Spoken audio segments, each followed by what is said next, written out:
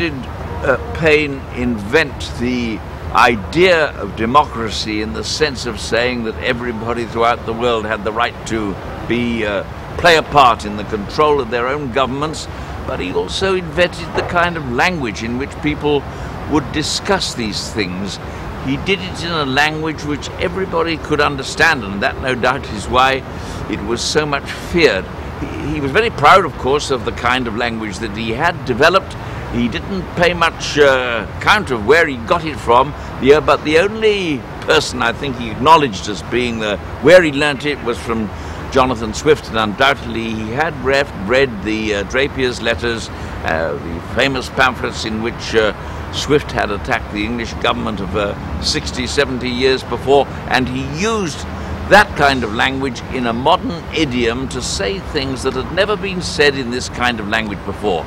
In particular, he was replying to the famous book in which uh, Burke was attacking the revolution, but whereas Burke's book could be read, and it's still a brilliantly written read book, but it was read by dozens and hundreds of people, Paine's book was uh, designed to be read by thousands and tens of thousands, and within a matter of a few uh, years of its publication, he translated that into fact. And considering that nobody had ever written political writings to, of that scale before, that alone was one of his greatest achievements. Um, are there any analogies today? He, he was very much against the aristocracy. Right? Americans have a hard time understanding British aristocracy relevant today, his attack on... Well, he was certainly against the aristocracy. He was against the monarchy, too. He was, he was a, a Republican, and of course his first... A Republican in the American sense, too, because his first uh, antagonisms were directed against George III because of what the English monarchy had attempted to do to the uh, people of America. But of course, he was associated with that attack, in associated in that attack on the English monarchy was what this Parliament was doing because the for a while the uh, Parliament here was supporting what uh, uh, what the King was doing against the Americans, and so uh, uh, Paine would direct a lot of his attack against them. And in the course of doing that, he explained the, to the Americans and in the, to the rest of the world when they read his books how the English system operated, and it was a terrible, corrupt story because he described uh,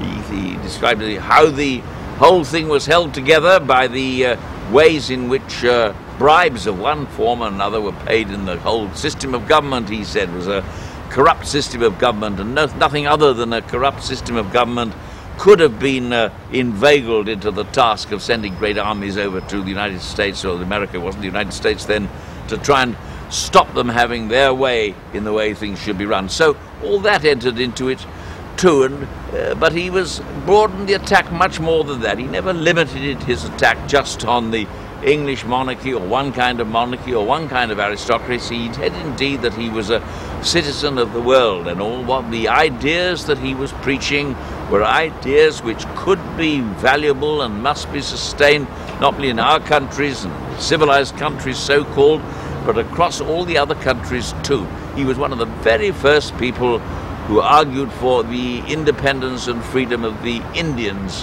There were some others who did it too, but he was amongst those very first. And then when he got to the United States, he was one of the very first to attack the whole idea of slavery, and if he'd had his way, the slavery would have been abolished way long before it, uh, 60, 70 years before the act, the, the, the decision was made in the United States to abolish it.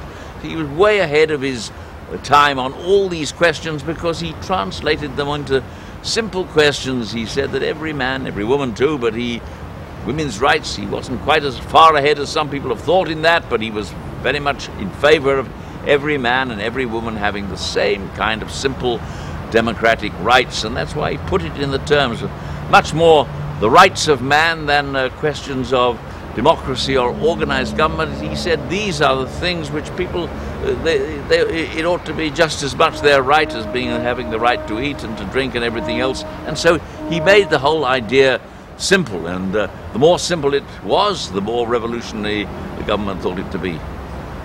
You're a modern day contemporary politician. Why are you interested in Paine? Well, partly uh, because I think a lot of uh, we've got lots of politicians. I dare say we've got a few on that side of the Atlantic too, who like to make all these issues very complicated and like to say that it's only if we understand great, great complicated questions of business and economics and all the rest of it, it's only if you do that that you can understand what politics are about. Thomas Paine wouldn't have that. Uh, people were saying that, by the way, at the time. Uh, Edmund Burke, his great opponent, was also saying, way back in the end of uh, that century, of the 18th century, that politics was such a complicated affair that ordinary people could never understand it. Now, that was what raised Paine's fury more than any other single thing, in my opinion. And he said, no, no, politics is something that everybody can understand. They're simple questions. He learned that partly from Jonathan Swift, by the way, who said that politics is a matter that can be understood by many heads, and that meant that people, if they applied their minds to it, could see what was right and wrong in the way people run their governments. Of course, that, that very notion was revolutionary at a time when uh, the whole idea of the government was assembled in the hands of uh, secret organizations like Parliament and the monarchy and the rest, and when they were reaching conclusions which were of such painful uh, consequence for the mass of the ordinary people. And so he said, let's take the politics to the mass of the people. And he's still doing that, by the way, because of course there are still people all over the world who say that, uh, you know, ordinary men and women can't understand these complicated questions. But that was what Paine hated more than anything else. Has he been an inspiration to you personally? Well, yes, and, and indeed, uh, uh, to some of the very greatest uh, people, of course, that we owe the debt, in my opinion, for telling us about it. One is the great American Moncure Conway, who uh, wrote the life of Thomas Paine at a time of great difficulty when the most of many of these facts, some of which we've been talking about on this program, were not known at all. Moncure Conway was the man, American, who came over to this country and determined to books in the libraries, all annotated. But Thomas Paine hasn't yet received anything like that acknowledgement, but I hope it's going to come.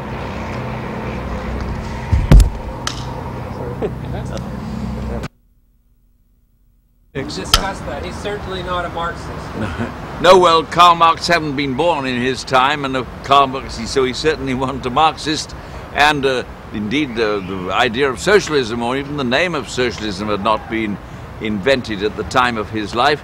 And he certainly was a believer in the supporting the small trader or the small businessman and his rights, as well as other people's rights against the uh, corrupt uh, aristocratic governments of the time.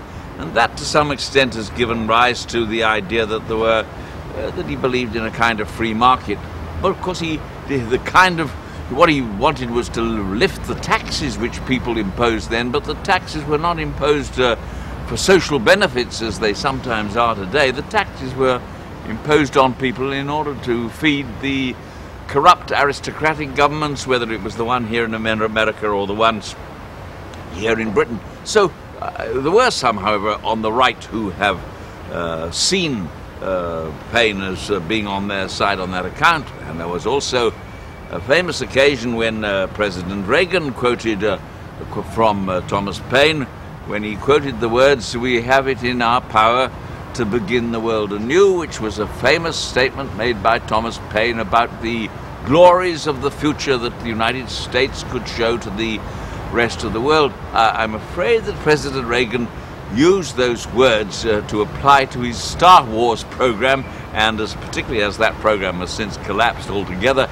I don't think that Thomas Paine would have been very pleased about it being used. I've sometimes thought that it was uh, all done for a wager, and that some of President Reagan's scriptwriters, one said to the other, I'll bet you that you won't be able to get a Thomas Paine quotation into a Reagan peroration, but the, he succeeded in doing it. However, uh, there have been some other occasions. It's even been said to me that Mrs. Thatcher quoted Thomas Paine on some occasion. Well, if I'm if she if she did, I'm sure she got it from some quotation book where she hadn't read the context properly, because of course most of what Paine was saying on all these matters were in the revolutionary conquest, uh, uh, the revolutionary context of his time. That didn't mean to say that he believed in permanent revolutions. It did mean to say that he said here as long as uh, people are denied their elementary rights, then the first thing we've got to do is to see whether those elementary rights can be established. And that's maybe why he retains his uh, relevance today so much because there are so many parts of the world where those elementary rights are not established. Not only uh, partly, of course, in countries, the backward countries, so called in Africa and India, and of course, Paine has played a very big part in those countries, by the way.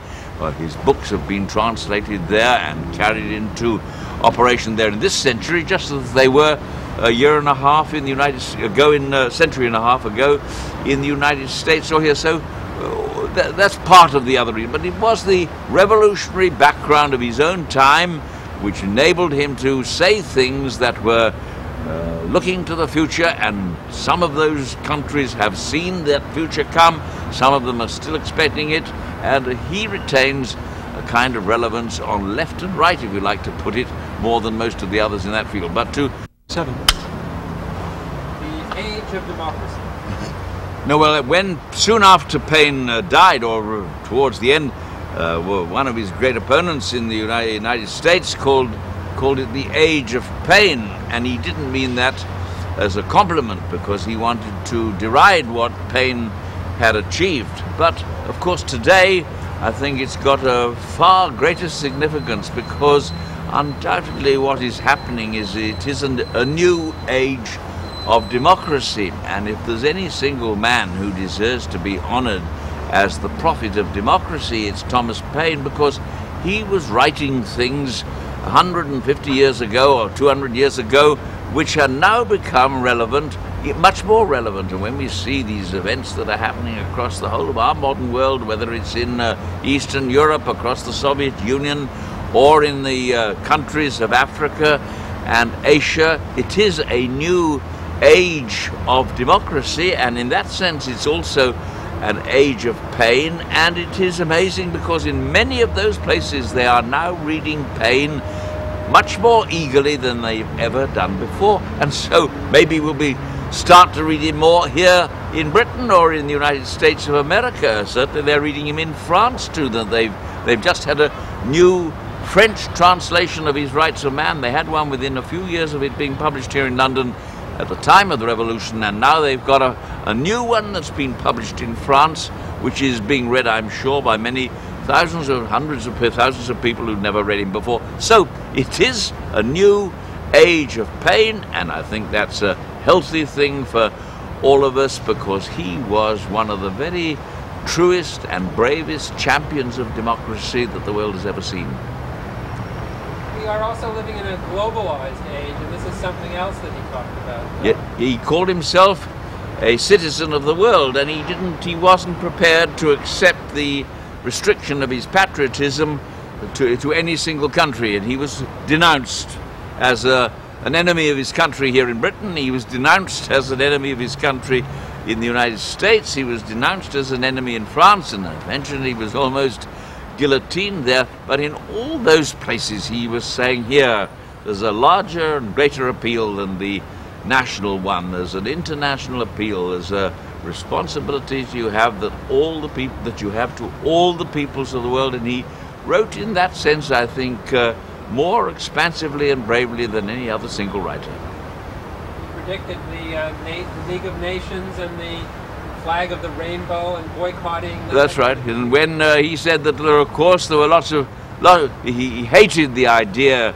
of settling uh, disputes by people going to war, and he, in, I don't say exactly invented it, but he was one of the very first who said, well, why don't we settle a lot of these international disputes by having a system of international arbitration, and so you could have some other kind of judicial way of settling these disputes, which was something that was what we think is a, a 20th century idea, and indeed we haven't yet carried it into effect, but he was talking about this more than 200 years ago because he said, here, of course, we want to see these same democratic ideas applied on a, a wider scale. And so I don't think there's any other single figure in history who has more right to rejoice about the liberations that are going on today. Not all those liberations are taking way and taking place in the most peaceful method, but he would have liked it done that way because he also said if we recognize the rights of other people, if the rights of man, if we recognize them properly, then we can settle these disputes and arguments